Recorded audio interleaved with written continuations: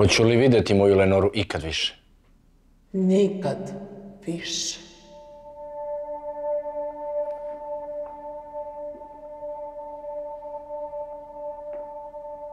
Kakvog si me odrpanog ostavila? Nikad više.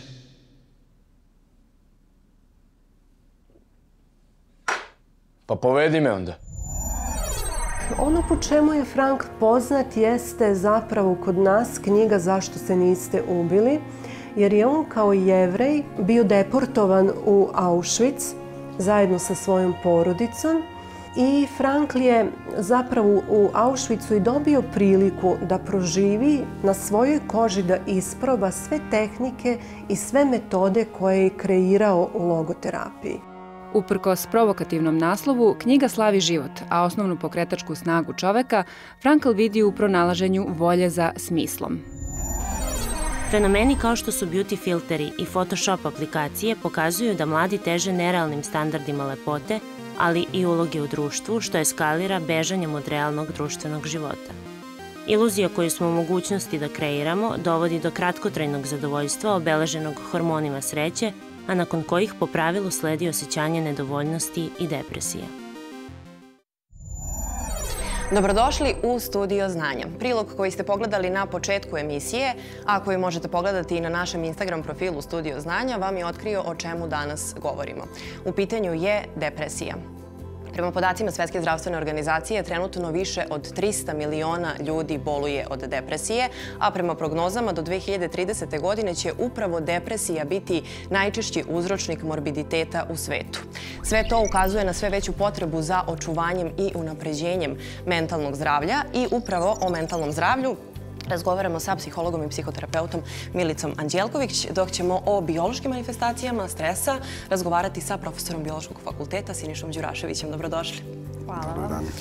Milice, hajmo za početak. Često spominjemo depresiju i kažemo da negde stanja koje ipak nisu depresivna pripisujemo depresiji. Malo duže smo tužni, neraspoloženi. Kako da prepoznamo depresiju? Šta su njeni najčešći simptomi? Ako depresivna osoba zapravo doživljava veliki gubitak energije, odnosno životne snage ili libida. Nekad do te mere da prosto osoba ne može da obavlja neke osnovne životne aktivnosti u vidu održavanja higijene. Upravo zbog gubitka te energije osoba je nekako usmerena na depresivne misli koje je obuzimaju, ne može da se odbrani od njih, i negativno procenjuje sebe. Ima negativnu predstavu o sebi, što dovodi u krajnjem slučaju do toga da se osoba osjeća potpuno bezvredno, potpuno bespomoćno, inferiorno, beskorisno.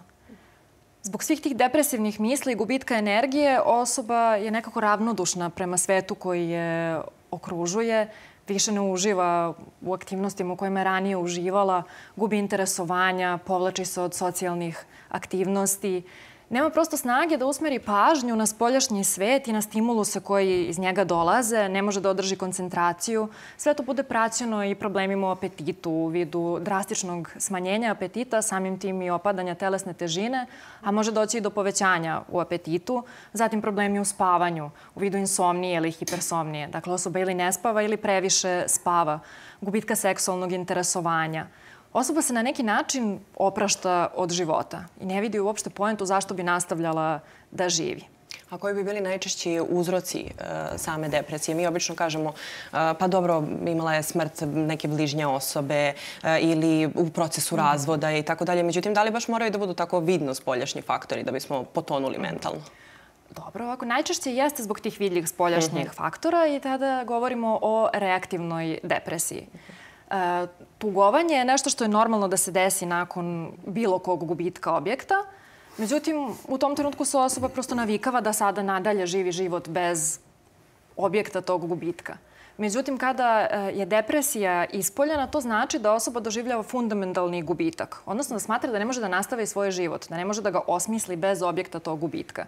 Takođe, osoba može i da žali sebe Kako? Tako što je postavila sebi neke uslove koje u životu ne ispunjava i samim tim što nije ispunila taj uslov smatra da ne zaslužuje da živi i da nije vredna kao takva kakva jeste. Ali može doći prosto do toga da je depresija nekako unutrašnja zapravo, ali ona je više onda usmerena na one biološke faktore u smislu da je došlo do značajnog značajnih promena balansa u neurotransmiterima kao prenosiocima informacije u mozgu i njihovim receptorima.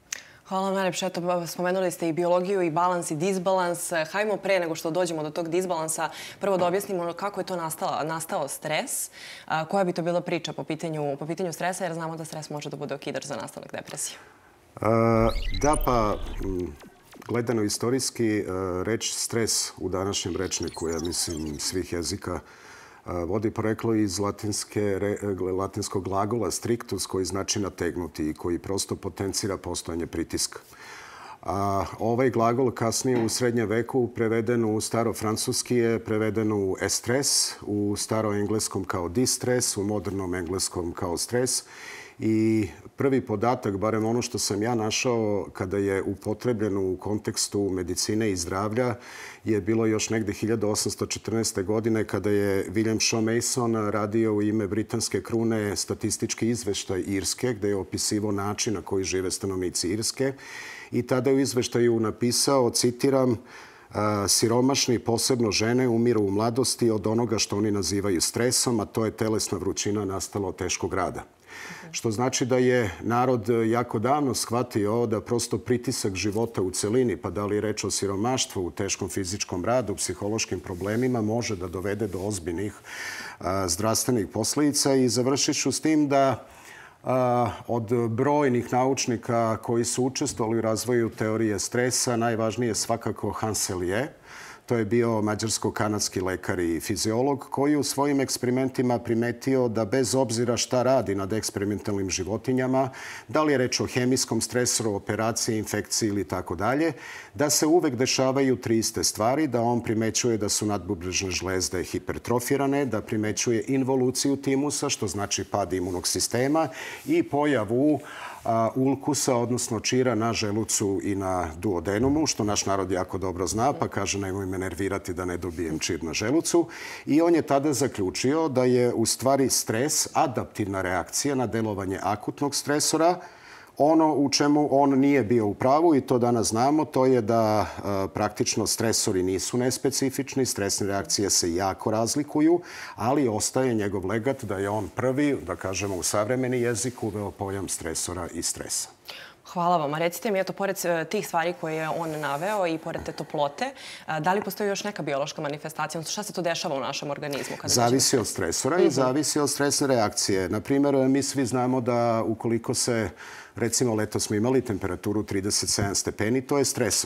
Stresna reakcija u našem telu će dovesti, recimo, do širenja krvnih sudova u koži, kako bismo se oslobodili viška toplote, do stimulacije znojnih žlezda, lučenja znoja, kako bismo se raskladili.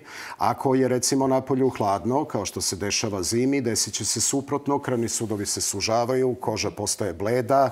Ako nam je mnogo hladno, dolazi do mišićnih kontrakcija koje nas zagrevaju. Ali sa treće strane, ako su stresori složeni, psihološki stresori, onda oni mogu imati implikacije na celokupan nervni, endokrini, imunološki sistem, imajući u vidu da se naravno nervni sistem i mozak posebno bave našim kognitivnim bićem, našim svesnim delom, nečim što zovemo šta nas čini srećnim, šta nas čini tužnim, kakva je naša percepcija života, naših ciljevi, šta želimo da ostvarimo, onda je sasvim jasno da ti složeni stresori, naročito psihološki, ukoliko dovoljno dugo traju i dovoljno dugo nas drže, da kažemo, u statusu stresa, mogu na kraju da rezultuju brojnim kognitivnim poremećajima, od kojih je depresija jedan, anksioznost, socijalna nekompetencija u kontaktu sa drugim ljudima i brojni drugi, ali za to je mnogo kompetentnija koleginica. Hvala vam, hvala vam najlepše. Eto, to neka ovaj, bude nam opomena, pošto u 21. veku živimo jako brzo. Nastavit ćemo razgovor nešto malo kasnije. A o jednostavnosti uživanja u životu u malim stvarima pevaju nam, odnosno peva nam danas Nada Jovanović uz pratnju Dragoslava Pantića. A nakon toga razgovaramo sa psihologom Minom Miljković. Uživajte.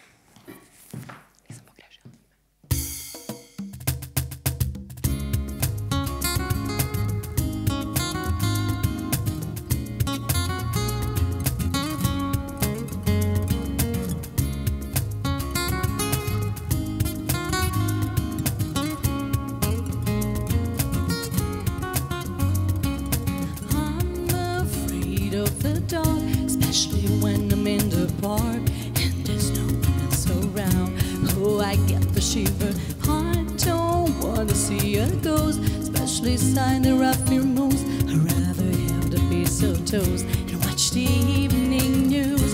Life, oh life, oh life, oh life, do do do do.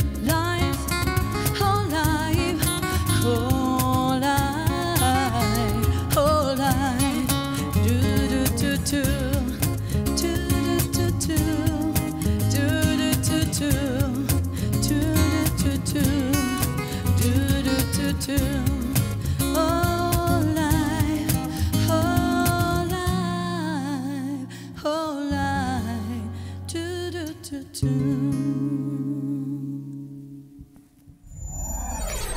Umetnost nam ulepšava i obogaćuje svakodnevicu, čak i ako nemamo dara, to ne znači da ne možemo da se izrazimo umetnički i upravo taj umetnički izraz deluje blagotvorno na našu psihu.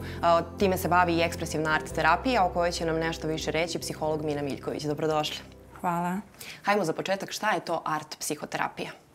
Um, art terapija je recimo hibridna disciplina koja jeste usmerena na mentalno zdravlje, ali pored psihologije i psihoterapije uključuje i umetnost, odnosno umetnički izražaj, pre pošto to ne mora da bude umetnost nekog visokog kvaliteta, niti treba neki talenat, kao što ste vi rekli. I na koji način to pomaže vašim polaznicima? Kako izgleda jedan vaš čas, kurs? Uh, pa art terapija s jedne strane uh, ima taj aspekt samog izražaja koji je lekovit po sebi i to je, mislim, poznato od kad praktično postoji ljudska rasa. Uvek su se ljudi izražavali i to im je nekako pomagalo. Uh, ali sada od nekih, kako je nastala art terapija kao disciplina, recimo nekih 40. godina 20. veka, sa uplivom ideje o nesvesnom, mm -hmm. koju je donela psihoanaliza, onda sada znamo da nije samo izražavanje to koje pomaže, već možemo najčešće uz pomoć terapeuta koji malo bolje možda barata tim simboličkim mišljenjem i, i o, arhetipovima i idejama u stvari našeg unutrašnjeg sveta, da zapravo kroz taj izražaj shvatimo šta to naše nesvesno komunicira, odnosno da upoznamo malo bolje sebe, da nešto o sebi naučimo kroz analizu dela ili neku dalju aktivaciju onoga što smo napravili. I kada to povežemo sa anksioznošću i depresijom, da li nas to na određeni način oslobađa, da li može da reši? Depresija uh, je onako jedan naziv uh -huh. za, mhm. za mnogo toga, uh -huh. ali ovaj, ono što bi recimo bila neka kao prvi, prvi neki onako laički osjećaj kao ja daj da pomognemo tom čoveku. Uh -huh. ovaj, ono što je paradoksalno u, u dosta terapijskih pravaca, pre svega ovih dubinskih, humanističkih, uh, vi ste pominjali Frankla, znači -huh. uh, egzistencijalističkih, uh, rešenje nekako dolazi kroz jednu paradoksalnu intervenciju, a to je da se bavimo time uh, što jeste. I art terapija tu pruža puno mogućnosti. Negde depresivna stajanja i uopšte, ne znam, potiskivanje emocija često se izražava kroz ah, ahromatsko, kroz odsustvo boje, kroz crno, kroz nijanse sive. Puno ima mogućnosti kako može onda to stanje da se istraži kroz korišćenje tog ahromatskog ili neke druge tehnike. I ono što je, što je dobro bit je što čim imamo neku vizualnu sliku Ne mora ona da bude uh, u, vidu umetničke slike. Uh, može da bude i slika u smislu pokreta ili, ili skulpture. Ulazimo u domen arhetipskog i to je nešto sa čim svi možemo da se povežemo. I tu ta samoća, ta usamljenost, to, to odsustvo u kom je čovek uh, koji je, ima depresivno iskustvo, negde dolazi u, u jedno polje u kome mi možemo to da razumemo. Jer imamo sad tu metaforu sa kojom možemo da se povežemo i on više nije sam. Mm -hmm. I recimo da nekim kontinuiranim uh, radom u nekom trenutku možda simptomi postaju suvišni, ali to sad sve zavisi od, od slučaja do slučaja i. Dobro, eto, na taj način i art psihoterapija možda i postaje, da kažemo, svojevrsno ogledalo stanja u nama i da li se to stanje popravilo ili nije. Mnogo vam hvala, Mina, što ste bili sa nama. A u narednom prilogu podsjetit ćemo se i zapravo malo ćemo detaljnije obraditi Viktora Frankla i njegovu knjigu provokativnog naslova Zašto se niste ubili. Logoterapija ili u bukvalnom prevodu lečenje smislom je vid psihoterapije koju je 30. godina prošlog veka kreirao bečki neurolog i psihijatar Viktor Frankl.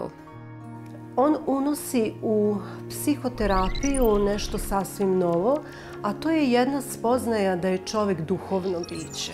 Ono po čemu je Frank poznat jeste zapravo kod nas knjiga Zašto se niste ubili, jer je on kao jevrej bio deportovan u Auschwitz zajedno sa svojom porodicom i Frankl je zapravo u Auschwitzu i dobio priliku da proživi na svojoj koži da isproba sve tehnike i sve metode koje je kreirao u logoterapiji. Uprkos provokativnom naslovu, knjiga slavi život, a osnovnu pokretačku snagu čoveka Frankl vidi u pronalaženju volje za smislom. Volja da prepozna, da pronađe smisa u svom životu, da razume koji je smisao nekih događaja u njegovom životu koji možda su vrlo izazovni, vrlo teški, koji je smisao neke patnje, nekog trpljenja. A na kraju i koji je smisao našeg stvaralačkog rada, zašto mi nešto kreiramo, zašto mi nešto stvaramo, pišemo. Egzistencijalni vakum je jedna, jedan osjećaj apatije, jedan osjećaj dosade, nezainteresovanosti, to je jedno očajanje, kome osoba ne pronalazi smisao. E, smisao u patnji postoji, a možda je odgovor zapravo i Franklova rečenica koja kaže čovjek nije taj koji postavlja pitanja životu, život pita čoveka. Kompleksno pitanje na koje svaki čovek e, treba da da sam sebi odgovor. Eto, ova knjiga možda može biti od pomoći. Hajde mi da se okrenemo našoj Zoom publici koja ima pitanje za naše goste. Tamara, ti imaš pitanje za Milicu, izvoli. Poštovanje. E, sve češće u medijima možemo čitati o bipolarnom poremećaju. Šta se pod tim tačno podrazumeva? Mhm, hvala vam na pitanju. E, bipolarni poremećaj podrazumeva poremećaj raspoloženja koje, u kome se smenjuju dve faze jednom ili više puta u toku života i razlikuje se od pojedinca do pojedinca kako će se te faze zapravo smenjivati. Jedna od tih faza je depresivna faza koja ima sve one simptome ili neke od simptoma o kojima smo govorili na početku kada je depresivni poremećaj u pitanju.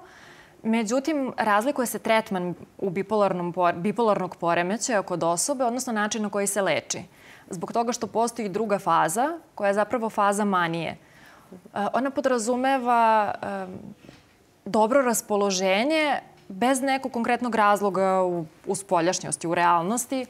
Osoba je aktivna, sposobna u smislu da obavlja sve svoje aktivnosti i više od toga, kreativna, zanimljiva ljudima oko sebe, širi neku pozitivnu energiju i ljudi prosto kada je ta početna faza hipomanija u pitanju uopšte ne primećuju da je sa osob, da sa osobom nešto nije u redu, niti osoba kod sebe to primećuje, već je svima super zabavno. Međutim, kako ta faza odmiče, osoba odlazi dublje u maniju i sve nekako manje ima veze sa, sa realnošću, postaje nestrpljiva, egocentrična, socijalno, sa nekim socijalno neprihvatljivim ponašanjima u vidu odevanja ili šminkanja ako je to ženska osoba u pitanju, impulsivna, može pokazivati bes prema ljudima koji govore da nešto nije u redu ili koji neće da rade ono što se toj osobi radi, da joj udovoljavaju, dok na kraju dolazi do krajnje faze manije ukoliko ona nije tretirana, gde osoba potpuno gubi kontakt sa realnošću, uh, govori jako brzo, ne može uopšte da se uhvati nit toga što osoba govori, kao neka bujica ideja, dolazi do sumanutih e, misli, osoba smatra, odnosno ideja, osoba smatra za sebe, na primjer, da je mesija, da je bogom dana, što stvarno nema nikakve veze sa realnošću i može imati halucinacije, može biti uh, ugrožavajuće za sebe i za druge i na kraju dovodi prosto do hospitalizacije osobe kako bi ona bila ispravno tretirana. A recite mi kada je u pitanju lečenje, uh, šta da kažemo, kakav je taj odnos u lečenju između de, uh, psihoterapije i lekova? Mm -hmm. Ovako, pa odnos je takav da ukoliko simptomi pojedinca koji je se obratio za pomoć, ispunjavaju kriterijume za bilo koji poremećaj, pa na kraju krajeva i za depresiju o kojoj danas govorimo, je važno da se usmeri na psihijatrijski pregled. Jer je psihijatar taj koji će najbolje proceniti da li je važno uvesti lekove ili se može raditi samo psihoterapijski. Naprimjer, kada su neka subdepresivna stanja u pitanju, kao što ste me na početku pitali nešto što kao liči na depresiju, ali u stvari nije to do kraja depresija, odnosno depresivni sindrom, onda i može da se leči samo psihoterapijom. Međutim, čak i ako je u pitanju neka blaga depresivna epizoda gde je osoba vrlo funkcionalna, ne odvaja se od socijalnih kontakata, malo ima poteškoća, na primer, da obavlja svoje aktivnosti, može da se radi samo psihoterapija, ali, ali na kraju dana ako psihijatar tako odluči. Dok kada je u pitanju umerena depresija ili teška depresija, umereno je osoba već krenula da se povlače od socijalnih kontakata, zatim već sa teže obavlja svoje svakodnevne aktivnosti i onda je potrebno uvesti i lekove kako bi se malo ona podigla. A teška depresija već može dovesti do toga da osoba ne može da ustane iz kreveta. Samim tim kako, kako uopšte da, da radi psihoterapiju Da, i da. onda mora da, da prvo to budu lekovi, pa onda da se uvede i psihoterapija. Hvala vam puno. Uh, Filipe, ti imaš pitanje za Sinišu, izvoli. E, Da, zdravo svima. E, moje pitanje glasi šta su pokazali dosadašnji eksperimenti i šta je još uvek, e, što je još uvek nepoznanica kada je u pitanju uticaj e, stresa na promene u mozgu? Da, hvala. Ja mislim kada bismo ukucali reč e, stres i potražili broj radova koji su do sada publikovani, ja mislim ne bih pogrešio kad bih rekao da je reč o hiljadama, ako ne o desetinama hiljada radova koji su rađeni na svim nivoima, od molekularnih DNK, transkripcije, translacije, hormona, neurotransmitera i tako dalje. Naravno, tu spadaju i radovi koje rade psiholozi i tako dalje. Ali, naravno, znate da kada bismo o nekoj bolesti znali sve, mi bismo imali definitivan lek i činjenica da mi taj lek dan danas nemamo, barem ne u smislu apsolutne efikasnosti kad je reč o depresiji, govori da definitivno ima nepoznanica. Ja ću vam dati jedan primer. Zadnjih meseci, zadnjih možda godinu, dve dana se jako radi, naročito u Velikoj Britaniji i Americi, na sasvim novoj klasi lekova protiv depresije, kao što je psilocibin za koje je pokazano da je njihov mehanizam a, sa kojim deluju, mada još uvek a, nepoznat u potpunosti, sasvim drugačiji od klasičnih lekova. Klasični psihijatrijski lekovi koji obično deluju na neki od neurotransmitera, pa da li je reč o dopaminu, serotoninu, noradrenalinu ili tako dalje, ova klasa lekova radi nešto totalno drugačije. Ona dovodi do apsolutnog reseta u putevima sa kojim različiti delovi mozga komuniciraju jedan sa drugim i to na jedan jako interesantan način. Ja vam sada govorim o radu koji je izašao pre par dana u časopisu Nature, koji je najpoznatiji svetski časopis i gde se publikuju isključivo stvari koje su od enormne važnosti za nauku, gde su pokazali da su praćenjem rada mozga na 300 pacijenata se pokazalo da ta klasa lekova na onim glavnim putevima komunikacije, gde je, da kažemo, najveći promet, da tu prigušuju tok informacija, a da na lokalnim perifernim putevima, gde je inače protok informacija mali, da ga ubrzavaju. Što znači da ako bi se ova terapija u narednih par godina pokazala uspešnom i možda čak postala terapija izbora kad je reč o depresiji, ona bi kompletno promenila naše shvatanje uzroka depresije sa prethodnog razmišljenja, da je reč isključivo i samo o poremećaju ovih ili onih neurotransmitera na nešto sasvim drugačije, a to je način na koji neki delovi mozga jedan sa drugim a, a, komuniciraju. Hvala vam, nadamo se da će onda to zaista i biti tako. Deluje bar sa ovog stanovišta olakšavajuće koliko toliko. Hajmo za kraj. A, koji bi bili negde saveti za eto zdrav život da ne dovedemo sebe u tu situaciju da, da je već kasno kad tražimo ps- psihijatrijsku pomoć ili psihoterapeutsku pomoć? Dobro, znači te neke promene raspoloženja su prosto normalne kod svakog u odnosu na to šta nam se svakodnevno dešava i zbog stresa.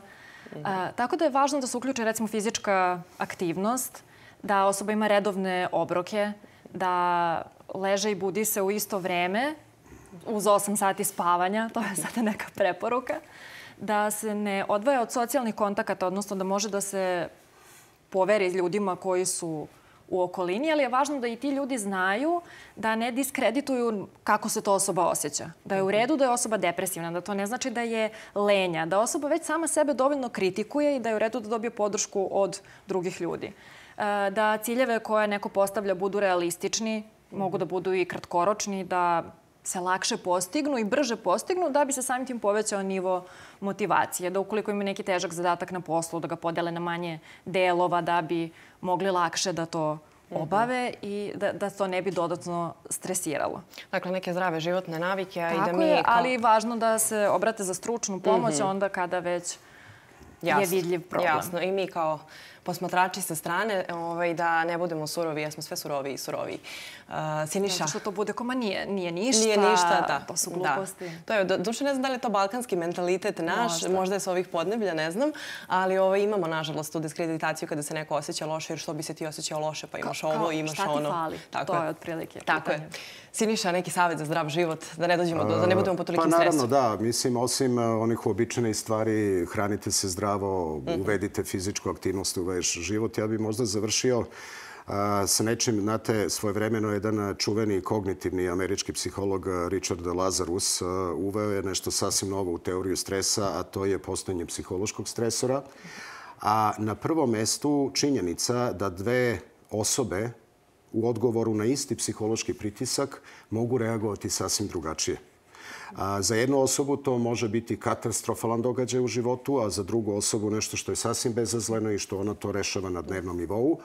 I ja bih e, završio sa tim da je po meni, mada sam ja laik, nisam ni psiholog ni psihijatar, a, jedan a, pozitivan stav u životu prema svemu, uključujući probleme, jer mi njih ne možemo izbeći u životu, jako važan kako ćemo, prosto da kažem, za opšti osjećaj sreće u životu. Da kažem po sebi, ja sam danas prvi put bio pred kamerama, A, I za mene je ovo mogao biti strašan stres. Ja sam mogao biti inhibiran, ja sam mogao biti u situaciji da ne pratim svoje misli, a da sam se uplašio. Ja sam sa druge strane išao prema tome da je ovo interesantna emisija, da je bitna za naše gledaoce i bilo mi je lepo, bilo mi interesantno pričajući sa vama, gledajući sve šta se dešava u studiju i za mene je ovaj stres bio pozitivan stres koji mi je ulepšao dan, a ne negativan stres koji mi je upropastio dan.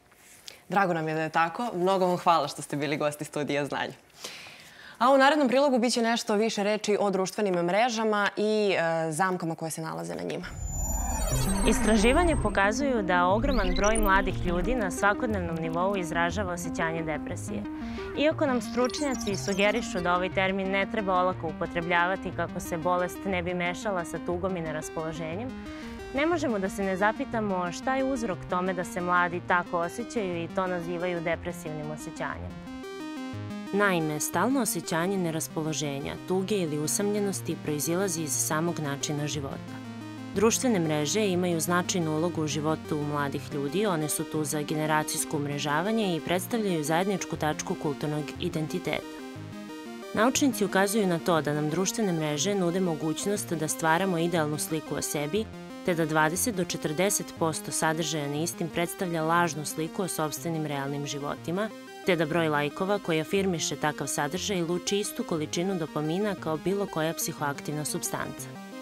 Fenomeni kao što su beauty filteri i Photoshop aplikacije pokazuju da mladi teže nerealnim standardima lepote, ali i uloge u društvu, što eskalira bežanjem od realnog društvenog života. Iluzija koju smo u mogućnosti da kreiramo dovodi do kratkotrajnog zadovoljstva obeleženog hormonima sreće, a nakon kojih po pravilu sledi osjećanje nedovoljnosti i depresija. Kao što je poznato, depresija je stanje povezano sa odsustvom volje, lenjošću i besmislom, a čini se da je upravo to ono u čemu se veliki broj mladih pronalazi. Kulturološke studije koje se bave generacijskim karakteristikama pokazuju da milenijalci i pripadnici generacije Z imaju ozbiljnih problema u komunikaciji. Strah od susreta sa drugim, osude ili ismevanja koji se dalje može dovesti u vezu sa još jednim fenomenom nastalim na društvenim mrežama, poznatim kao cancel culture, dovešće upravo do depresije bila ona okarakterisana kao usamljenost ili kliničko određeno stanje u kojem osoba ne vidi svrhu svog realnog delovanja. Ukoliko se pozabavimo pretpostavkom da je depresija bolest modernog doba, ne možemo da je ne dovedemo u vezu sa tehnologijom i ne razmislimo o tome koliko bi za naše zdravlje značilo udaljavanje od iste, te koliko bismo se bolje osjećali ukoliko lučenje dopamina potražimo u prirodi sa dragim ljudima.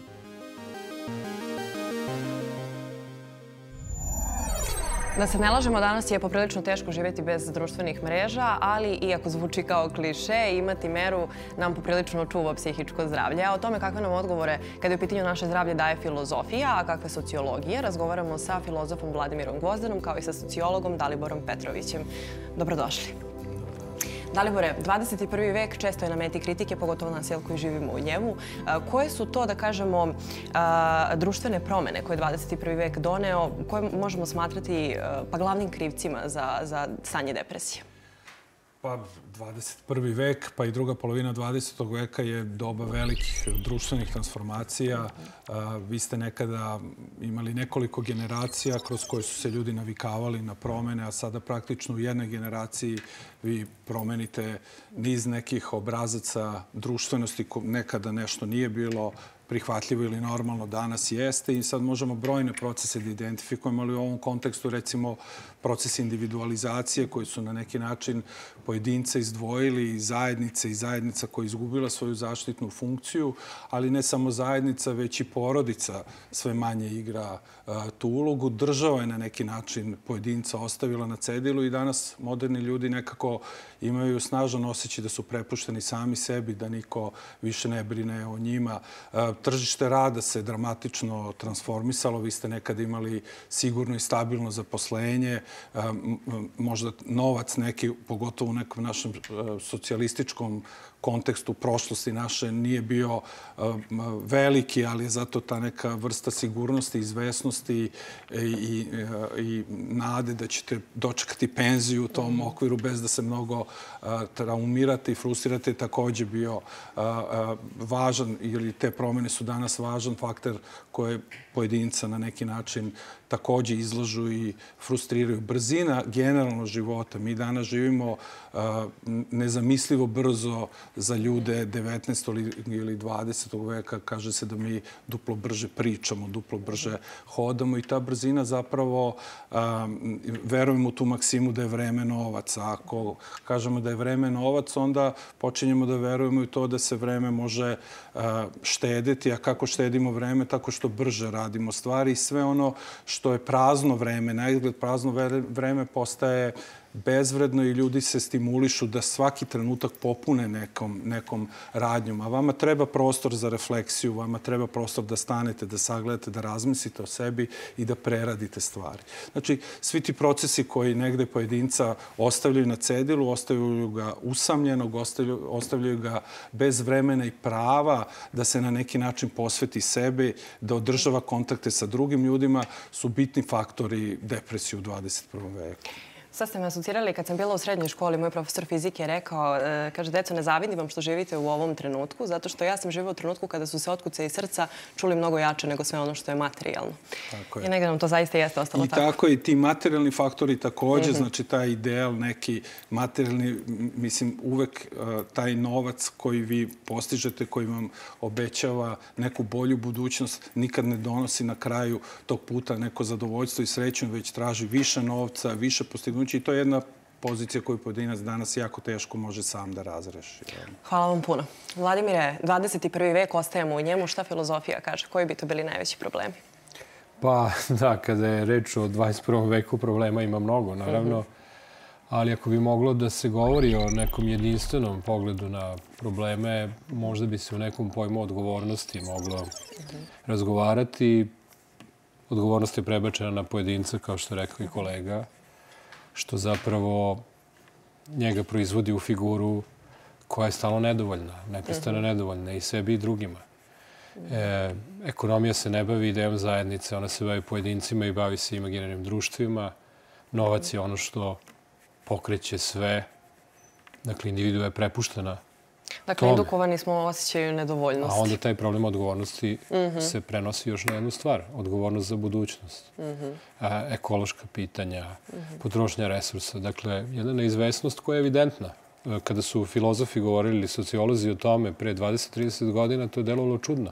Mm -hmm. Danas je to gotovo svima očigledno. E sad, kako artikulišemo naše odgovore, to su vrlo kompleksna pitanja. Mm -hmm. Da li su oni agresivni, da li su oni produktivni, da li su oni radikalni, da li oni poboljšavaju ili pogoršavaju situaciju, to je za diskusiju. A recite mi, hajmo da se pomerimo malo od ovog sada trenutka. Um, ranije, šta je to morilo filozofe? Da li je po pitanju tog ljudskog blagostanja postojalo, da kažemo, nešto pa, slično? Ako razmišljate o depresiji, filozofi su zapravo artikulisali vrlo rano filozofi i naravno oni ljudi koji su kasnije nazvani medicinari, ali oni su uvijek imali tu filozofsku dimenziju i Hipokrat i Galen, postoji ta reč koja je prethodila reči depresija, koja je relativno kasno ušla u naše rečnike, tek u 19. veku, to je reč melanholija, čuvena teška, velika reč melanholija koja ima nevjerovatno dostojanstvo od e, Direrovih e, grafika do Aristotela, e, ako idemo unazad. melanholija je bila ta reč. E sad, s melanholijom je interesantno što su oni vrlo rano primetili da melanholija, iako jeste tegoba, melanholik, melanholija znači crna žuč. Oni su verovali da je čovek jedno telo koje je ispunjeno tečnostima i da ravnoteža tečnosti znači zdravlje. A, ako je crna žuč prekomerna, onda je čovjek melanholik. Ali ono što je Aristotel još u četvrtom veku pre naše ere primetio, zašto ljudi koji su izvrsni u poeziji, filozofiji, umetnostima, zapravo često su melanholici. Znači, da li a, postoji nešto produktivno u stanjima a, bola, u stanjima teskobe, u stanjima nezadovoljstva. Dakle, to je ono što je, što je tu misao još antičku, kako da kažem, pogađalo, ta ideja da zapravo čovek, a, iako a, je kao predstavljen kao celovito biće ili bi trebalo da bude neka pukutina u njemu, zapravo je možda neki najproduktivniji njegov moment, s jedne strane. S druge strane, naravno, to je može da bude i moment bolesti, moment koji je van kontrole i moment koji vremenom, naravno, postaje medikalizovan, počinju one lečenja u 18. veku, 19. i razvija se jedna potpuno drugačiji pogled na, na, na bolest kao takvu, ali ostaju uvek i ovi slojevi iz prošlosti. E, kao neka tradicija, kao, neka ne, kao nešto i nesvesno možda što mi reprodukuje. No, to je dosta e, tema za razmišljanje, tako, bez koliko bismo prelepih e, dela ostali da nije bilo tog nečeg crnog u, u Da. piscima, ne u nama, već u piscima. Vrlo E, mnogo. hvala vam, hvala vam najlepše, nastavit ćemo razgovor nešto malo kasnije. Idemo sad malo da zaigramo, pošto je tema takva kakva je. Uh, Don't worry, be happy. Ceo svet je bio zaražen kada je ta pesma izašla, pa zaigrajte i zapevajte i vi uz Nadu i Dragoslava. A nakon toga moja koleginica Jelisaveta Bosanac razgovara sa trenerom karatea Dragutinom Simovićem.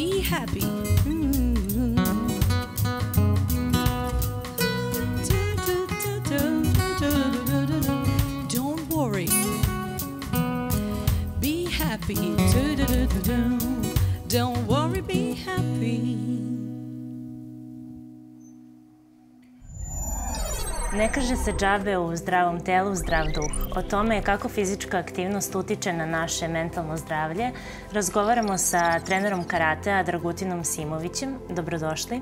Bolje vas našli. Da li su manje šanse da neko ko se bavi sportom boluje od depresije? Prvo bih krenuo od bioloških faktora koji pozitivno utiču na, ovaj, na depresiju. To pre svega mislim na lučenje uh, popularnog hormona sreće, odnosno serotonina. Takođe mislim na lučenje hormona endorfin koji je bitan za lepo raspoloženje, kao i na lučenje dopamina koji, je, koji nam služi za bolje suočavanje, da kažem, sa stresnim situacijama. Ovaj, što znači da osoba koja uradi trening prosto se lepo osjeća nakon treninga. Sad što se tiče izlaska iz depresije, to je jedan dugotrajan proces koji ovaj, je ispunjen nekim malim koracima i tu sport može biti od, od velike koristi jer možemo postaviti sebi ovaj, gomilu nekih malih ciljeva, relativno lako dostižnih, e, sa jednim ultimativnim ciljem, recimo polumaraton ili neka podignuta težina u teretani ili šta ja znam. Ovaj, I sad sve te male pobede koje vode do tog ultimativnog cilja, kad se spoje sa ovim što sam prvo rekao, sa ovim biološkim faktorima, ovaj, prosto mogu lakše da dovedu do ovaj, da pomognu u izlečenju osobe, a osobe koje to praktikuju, a nisu obolele depresije, ovaj, definitivno utiče preventivno kod njih. Vi držite treninge karatea pred školcima i osnovcima. Koliko je važno uvesti sport od malena u život deteta? Deca idole imaju u raznim poznatim uspešnim ličnostima, sportistima, muzičarima, glumcima, influencerima na društvenim mrežama i tako dalje. I oni su bukvalno izbombardovani na svim televizijama, na svim društvenim mrežama, platformama i tako dalje, izbombardovani su njihovim uspesima. Nigde ne vide kako se do tog, uspe, do tog uspeha dolazi, nigde nisu videli kako, ovaj, koliko je truda rada uloženo u sve to. Sa što se tiče karatea, karate ima jedan sjajan sistem ovaj, koji postoji generalno u istočničkim borilačkim veštinama, ne postoji u drugim sportovima. To je sistem sa pojasevima uh -huh. ovaj, za koji deca polažu, gde i deca koja nisu kako se zove, talentovana za sport, ne osvajaju medalje na takmičenjima i tako dalje, mogu dobiti potvrdu i nagradu za svoj uloženi trud i rad koji je de facto bio uložen u prethodnom periodu. Dete kada položi za žuti pojas, te sreće, te radosti, to, mislim, dete uh, zove, rodit, uh, zove bake, deke, komšije, tetke, strine, to. I što je najbitnije, kad se vrati u salu, nije u fazonu, e, položio sam za žuti pojas, ja sam postigao cilj. Ne, nego ja hoću da nastavim da treniram dalje, hoću položiti za naranđasti, za zeleni, za plavi i tako dalje i tako dalje. Tako da, ovaj, mogu reći da sport generalno ovaj, uh, definitivno utiče, da je odlična stvar da deca kroz druženje i kroz uh, i na jedan zdrav i pre svega zabavan način mogu da se pripreme za život i za sve što ih čeka. Hvala vam puno. Eto postrek za roditelje da čuvaju i neguju zdravlje svoje dece. A u narodnom prilogu vidjet ćemo umetnički prikaz depresije, Pesma Edgar Alana Poa Gavran poslužila je kao ideja za scenario za jedan kratki film.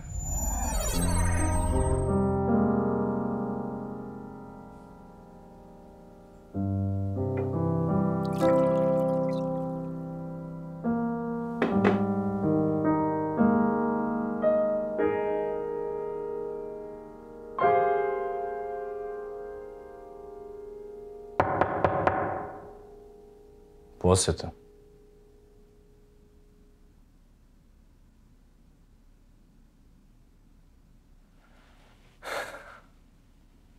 Nedostaješ. Oprostite, malo sam zadremao.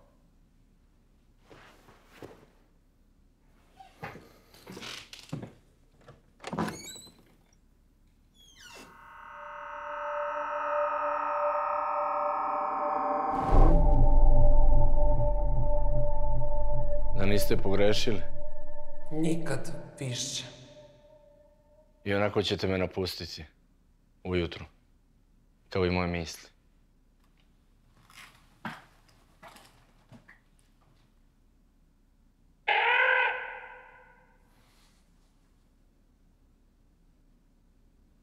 Ne sudbino klete što mi poslao u ptičurinu.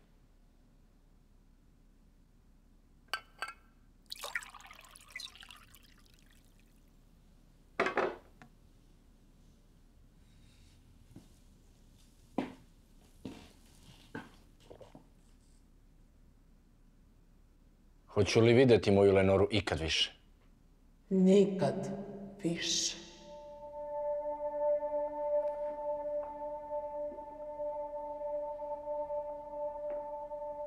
Kakvog si me odrpanog ostavila? Nikad više.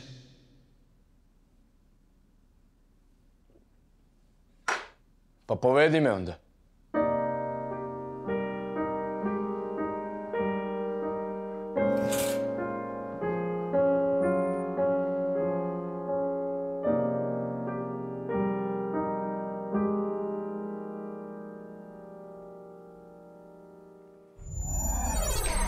Smrt voljenih osoba je jedan od glavnih uzroka depresije, ali da ne biste završili kao Edgar Allan Poe, odtugujte, ali ne zatvarajte se, pričajte se ljudima ili bar zatražite stručnu pomoć. A hajde sada da vidimo koje to pitanje ima naša Zoom publika za naše goste. Milane, ti imaš pitanje za Dalibora. Zdravo. A, moje pitanje glasi, da li je viši stepen uređenosti nekog društva garancije da će ljudi manje podleći depresivnom stanju ili naprotiv? Pa da, to je odlično pitanje i na izgled odgovor bi bio jednostavan. Više uređenja bi donelo jasnije smernice ljudima i onda nema razloga da se osjećaju depresivna. Onda kada pogledamo neke statistike depresivnosti u zemljama a, Evrope, vi ćete vidjeti da zapravo su najveći procenti a, depresije, nisu oni dramatični, ali negde na 10% kompletne populacije su u jako uređenim zemljama, recimo, na primjer, u Švedskoj ili a, Nemačkoj, recimo, što bi onda moglo predstaviti jednu vrstu iznenađenja. Ali odgovor zapravo nije na to, ovaj, nije teško doći do odgovora. Preterana regulacija, o tome recimo govorio i Emil Dirkem, jedan čovjek sociologa, zapravo može biti jedan od glavnih uzročnika e, i povećane stope samoubistava. On se time bavio pod kraj 19. veka, gde zapravo društva koje su na neki način previše rigidna, previše stegnuta, gde se pred pojedinca postavljaju previše visoki standardi savršenstva ili uopšte standardi da bude dobar član zajednice, često mogu zapravo na neke od njih, naravno na sve, ne na sve delovati negativno i upravo biti glavni uzročnici depresije. Zapravo Dirkem u tim svojim studijama samoubistava je rekao da nivo samoubistva zavisi u velikoj meri, govorimo ovde o depresiji, ali ona je povezana na neki način i sa suicidom zapravo zavisi od toga koliko je jedno društvo uređeno i s druge strane koliko je jedan pojedinac integrisan u samo društvo. I naravno što je on manje integrisan, što ne osjeća sebe, što više ne osjeća sebe delom te zajednice, to je on izloženi, izloženiji ovim stanjima. Isto tako, ako društvo nije re, regulisano, ako postoji jako nizak stepen regulacije, to je takođe jedan od bitnih uzroka depresivnih stanja ili mentalnih poremeća, ali kažem, rešenje ne mora za to biti preterana regulacija, nego jedna vrsta kombinacije regulisanog, uređenog društva, ali koji dozvoljava slobodu za ljudsko izražavanje, ljudsku kreativnost i na kraju krajeva ljudske posebnosti i racionalnosti. Tako da, naravno, uređeno društvo je, je važan i dobar put, ali ne preuređeno društvo. Opet mera. mera Hvala vam, Dalibore. Uh, Simona, ti imaš pitanje za Vladimira, izvoli. A, da li postoji neka filozofska škola koja se posebno bavila problemom depresije? To je moje pitanje. Hvala na pitanju. Pa ima, zanimljivo je da se tamo negde od 2012. godine pojavio jedan pokret, pogotovo u anglosaksonskom svetu, prvo na odsacima za filozofiju, e, gde su pokušavali najpre studenti da žive nedelju dana po stoičkim pravilima. To su filozofi, naravno rimski stoici, poput Marko Aurelija, koji su zapravo zagovarali to što ste pomenuli, ideju mere, ideju toga da pojedinac e, mora nekako da ono što je život, što su izazovi, što su lomovi, što su, kao što smo videli u prilogu, gubici, da nekako treba da bude kao kamen prema tome. To može da se kritikuje iz nekih uglova. Međutim, iz ugla ovog života u stresu, kao što je rekao kolega, tog užasnog ubrzanja svega, tiranije zaista novca kao merila svega. Od obrazovanja do uspeha. Dakle, a, oni su pokušavali da žive nedelju dana kao stojici. I taj pokret se polako širi, ovaj, kako da kažem, ima sve više. Dakle, da pokušamo nedelju dana da živimo kao stojici, eto možemo da pročitamo Marka Aurelija i da pokušamo da živimo tako da te sve svoje probleme nekako propuštamo kroz sebe. A, pominjali smo i te neke istočničke borilačke veštine. One se često baziraju na toj ideji da se pusti onaj ko je grub, ko je nasilan, da se naprosto pusti da prođe kao vetar, kao, kao da prođe kroz vazduh, kao da propadne. Dakle, da pustimo te pritiske, depresija je povezana sa pritiscima, nekako da propadnu, a ne da, se, da nas pritisnu i da nas sabiju. Dobro, to zvuči kao vrsan trening. Kao i karate i ovo pa, bio, ali sam samo... Mentalno zdravlje mm -hmm. jeste povezano s nekom vrstom treninga, mm -hmm. u stvari. Ukoliko želimo da ga čuvamo. A, želimo. Hvala vam. E, samo da se javim našoj publici. Hvala vam mnogo što ste bili sa nama. Vidimo se sledeće nedelje. Mi našu priču ne završavamo ovde. E, Dalibore, Sad smo pričali o uređenim društvima i manje uređenim društvima. Međutim, kakvo je stanje depresije u mirnodopskim vremenima, kakvo u ratnim vremenima? Da. Da, to je dosta, da kažem, kompleksno pitanje. Sada mi možemo malo da se vratimo i u našu neku prošlost. Nažalost, imamo takvih iskustava. A, možemo i da se vratimo, da kažem, i na ovu priču o Dirkemu, koga sam već malo prepominjao i onda kad je on pravio neka statistička poređenja stopi e, suicida o kome smo govorili, on je zapravo našao da te stope opadaju u vreme kriznih e, situacija, pogotovo u ratovima. Jel?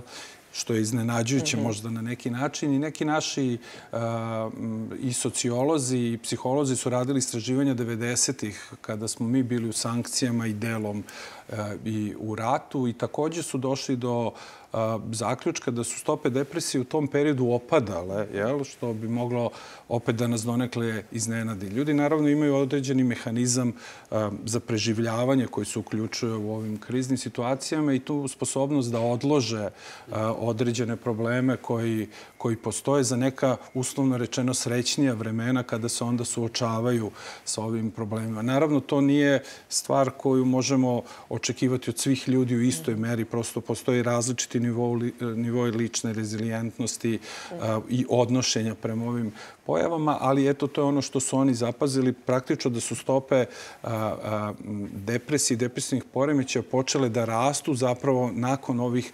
najintenzivnijih perioda sukoba u kojoj smo bili uključeni sankcije svega 90. godine. Ja mislim da neki nagoveštaj toga će, i već ih i sada imamo u ovom post-covid.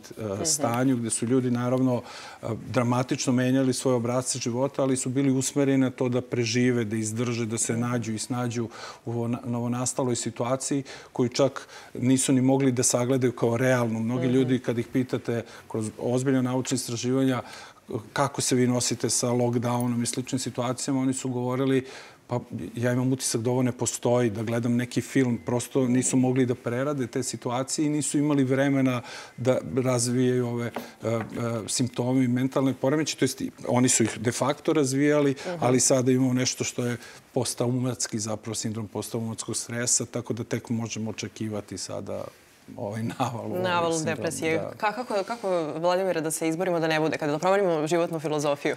Pa ja se bojim da, da je depresija i uopšte određeni mentalni poremeći su povezani s ljudskim stanjem mm -hmm. u velikoj meri. One su slika ljudskog stanja. Melanholije je bilo i biće i depresije je bilo i biće. Međutim, problem je naravno šta možemo da učinimo da je bude manje. Mm -hmm Ovi zanimljivi momenti istorijski kriza velikih ljudima proizvode neke male ciljeve, bliske ciljeve, možda čak ostvarljivije paradoksalno ciljeve nego u ovom kao redovnom životu gde se neka abstrakcija uspeha, razni narativi koji nas pritiskaju. Tako da negde objašnjenje verovatno jeste u tome da zapravo društva, recimo taj podatak da zaista razvijene zemlje imaju više depresije nego recimo neka društva koje bismo mi ocenili pod navodnicima kao zaostala. To su po svim statistikama e, Svetske zdravstvene organizacije tako. A, mislim da bez neke ozbiljne redefinicije ideje uopšte šta su ciljevi života, šta su, ne mogu reći smisao života, jer o jednom smislu ne mhm. možemo govoriti. Mhm.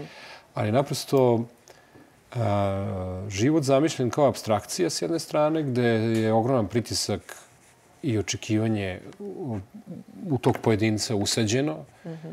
e, to je nešto što ga često zapravo vodi putevima depresije i mentalnog poremećaja.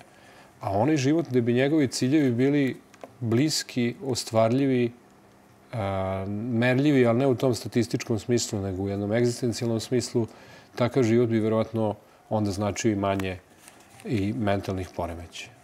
Dobro, to nije, nije loše da svi shvatimo da ovaj, smo i mi, eh, odnosno mi postavljamo nekome očekivanja, kao što mi tražimo mm, da od nas skinu to očekivanja, da treba i mi to da uradimo.